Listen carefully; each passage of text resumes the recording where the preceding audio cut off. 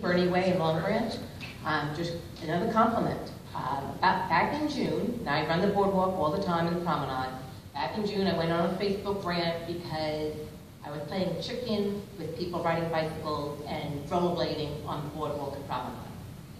So, uh, Up by the beach club, you mean? Or uh, the promenade in general? The Okay. prom, that, that promenade stretch and the boardwalk. People are riding bicycles, rollerblading, walking their dogs, letting their dogs poop on the boardwalk and not. At any rate, so I went on a Facebook rant, uh, because, they won't, they wouldn't move. I mean, there are people walking and they were, they are obstructing not just the runners, but the walkers too. So besides the Facebook rant, I ran into Chief Roebuck and mentioned the same thing to him.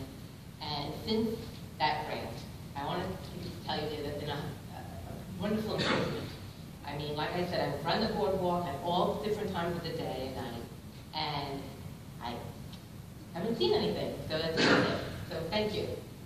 Thank you.